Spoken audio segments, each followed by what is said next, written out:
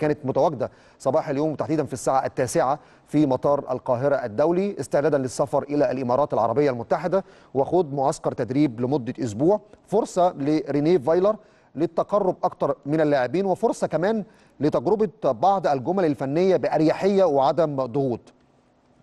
فترة إيقاف الدوري يمكن فترة للأسف طويلة شوية أو زادت مدتها نتيجة تأجيل آخر مرحلتين في الأسبوع الرابع والخامس لما بعد الأمم الإفريقية تحت 23 سنة. فبالتالي بعد ما كان الإيقاف يعني إيقاف الدوري حوالي 27 28 يوم زادت المدة إلى حوالي 40 يوم. طبعا النادي الأهلي كان بادئ المسابقة ببداية مختلفة عن كل الأندية.